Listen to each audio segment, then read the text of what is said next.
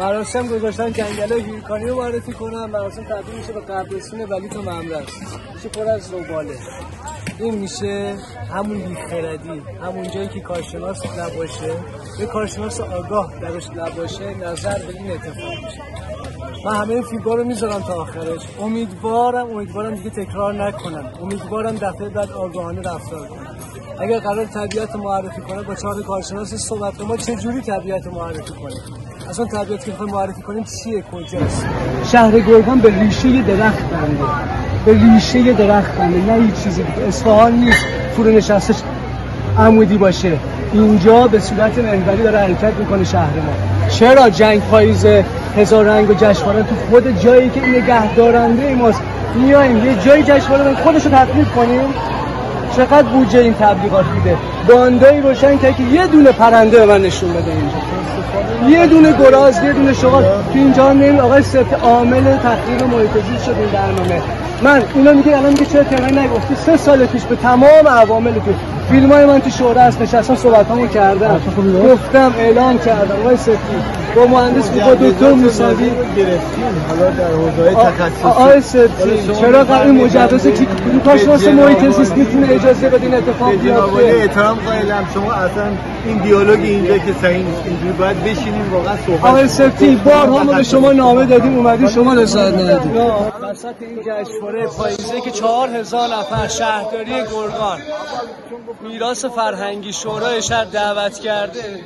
این نهال هایی که دو سال واسه زور زدیم که بمونه زیر پای این همه جمعیت داره له میشه. دو نفر اومده روی این همه خاک جنگل. شهر گرگان دچار نشست شما چجوری مجوز دادید شما چرا مجوز دادید اصلا چرا با خانم نورا؟ مگه چرا حرفای ما رو گوش نمیدین وقتی از من دعوت می‌کنه عنوان فعال محیط بیا بابا این اشتباه بود. ما اعلام کردیم. دو بار سه بار دو سه سال پیش در جنگل علنگل این خاک نابود شده است.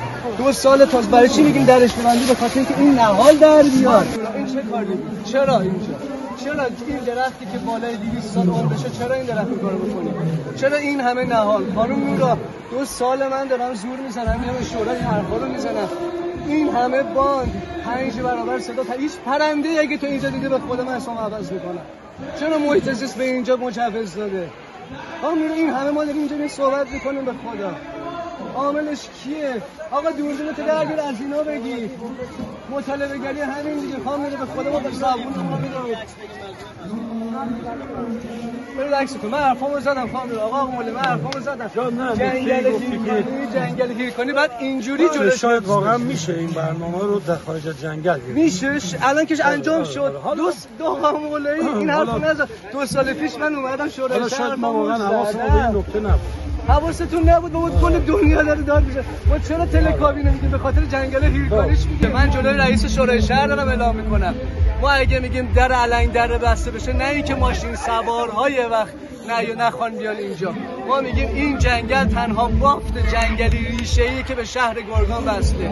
اگر شهر گرگان دچار رانش بشه به خاطر اینکه این ریشه ها دیگه وجود ندارن به خاطر این برنامه هایی که کاملا مخرب محیط زیسته واقعا اینا همش من حالا با دوستان صحبت می‌کنم به خدا به جای این این همه هزینه. یه جای دیگه رو در نظر بگیر. به خاطر به- کاش به جای این الان میذاشتی من برم اونجا فقط بگم توضیح بدم. این درخت اینجا چیه این صدای باند عامل تخریب محیط زیسته. کلی پرنده اینجا داره زندگی می‌کنه. فقط جنگل هیرکانی به گراز شمال که نیست. این پنج برابر بچه ها بشنوید. این اشتباهه. این کار اشتباهه بچه ها این صدای این باند پنج برابر به اون پرنده آسیب می‌زنه. نسل شما ها دیگه درختها رو نمی‌بینه. اینا بلوط میدن اینا نهال بلوط میدن. اینا همه نهال بلوط اینا همه نهال بلوط سه سال زحمت کشیدی اینا در خانم نورا در مورد جنگل ایرکانی هم صحبت کن. برو خدا. جنگلی که ما الان درش به سر می‌بریم قدمت این جنگل 60 میلیون ساله. 80 گونه درخت در اینجا هست و پاییز هزار رنگ برازنده شهروندان محترم گرگانی است و ما باید در مورد جنگل علنگره بیشتر توصیف بگه. امروز خود شما عامل تخریبی. پنج هزار جمعیت اومده روی ده هزار بلوطی که بله. این جنگلی که امروز ما هستیم باید حفظش کنیم.